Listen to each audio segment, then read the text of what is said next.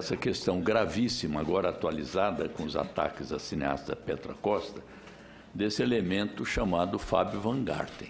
Extrema oportunidade que o nosso requerimento, que a convocação do senhor Fábio Van Garten possa ser feita de imediato. E tem muito orgulho do fato de nós temos hoje um documentário feito pela cineasta Petra Costa, o assalto ao poder que foi feito em 2016 e desnudar para o mundo inteiro o golpe civil que aconteceu, o golpe que é como a gente chama o golpe institucional que aconteceu contra a presidente Dilma, e não é à toa que quando a democracia é esfaqueada duramente, como foi feito em 2016, é claro que a partir daí o país desanda. E não é à toa que a gente acabou gerando esse monstro que está assustando o Brasil, um monstro da misoginia, um monstro que faz com que as pessoas estejam mudando completamente a sua percepção do Brasil, principalmente quem está fora do país.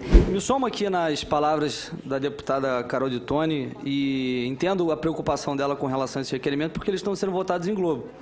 E muitos desses são requerimentos que nós, obviamente, não concordamos, os que nós temos aqui, nós queremos que eles prosperem, que sejam é, convocados essas pessoas que estão envolvidas e vamos votar favoravelmente, até porque essa é uma CPMI que deve ser imparcial. Nós sempre falamos aqui que muitas vezes há muita parcialidade aqui.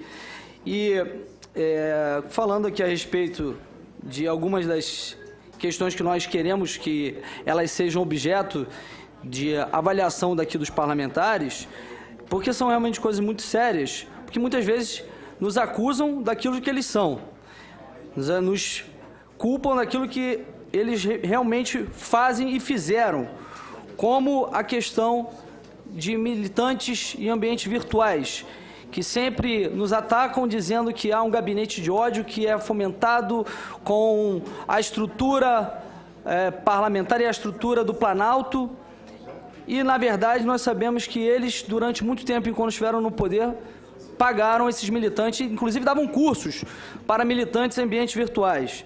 E mais recente, a questão do mensalinho no Twitter. Porque, como nós sabemos, hoje as redes sociais se, se tornaram é, um instrumento para fazer propaganda política, mas tem toda uma, uma questão legislativa, uma questão da legislação eleitoral que deve ser respeitada. Você não pode pagar influenciadores digitais para estar tá fazendo propaganda política.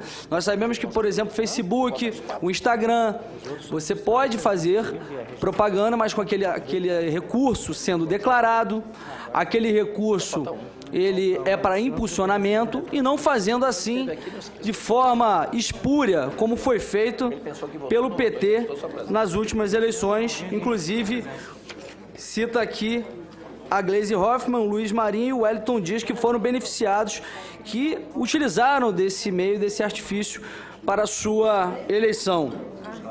E me somo também aqui com relação ao secretário de comunicação, o Fábio, que é uma pessoa realmente de conduta libada, libada, tem feito um ótimo trabalho à frente, da, à frente da Secretaria de Comunicação. É uma pessoa que tem essa responsabilidade de fazer a comunicação do governo federal, do governo Bolsonaro, e óbvio que ele não pode se calar, se omitir diante de tantos impropérios, de tantas calúnias que foram, que têm sido cometidas por essa militante que se chama Petra Costa, que é, além de ter feito um filme de ficção científica, com um viés totalmente uh, ideológico, com uma narrativa realmente romantizada, e até frisaram aqui que ela fez críticas, óbvio que ela ia fazer críticas, senão aquilo ali ia ficar realmente uh, um filme de, dos ursinhos carinhosos tinha que fazer algumas críticas à gestão do PT, mas para colocar que houve um golpe. E ainda teve a coragem de ir numa rede de TV para atacar o governo brasileiro, dizendo que o governo brasileiro assassina negros, persegue índios e que, inclusive, está a favor das queimadas na Amazônia. Uma verdadeira é, calúnia, um crime contra a segurança nacional ir até a rede de TV no exterior para falar mal do governo dessa forma, de forma mentirosa. E a deputada do PT disse que o filme fala sobre diversas coisas, sobre um assalto ao poder que aconteceu através no governo Dilma. O assalto ao poder foi o que o governo PT fez através da Petrobras, diversos escândalos de corrupção. Tiraram bilhões, se não trilhões do Brasil através desses esquemas de corrupção. Fizeram da, da corrupção um projeto de poder. Falou de golpe. Golpe foi o que fizeram com Passadina. Deveriam ter vergonha na cara de falar todos esses impropérios aqui. Fizeram o diabo com o Brasil. Levaram o Brasil às páginas dos jornais do mundo inteiro, passando uma verdadeira vergonha e ainda tem a cara de pau de falar de questões como essa. E aí fala que o nosso presidente é o monstro da misoginia. Olha só, monstro da misoginia. Logo ele colocou na Secretaria de Cultura a Regina Duarte. E aí, o militante do PT, o militante do PT, Zé de Abreu, falou que ela era uma fascista e que ter vagina não, não significaria que ela era um ser humano.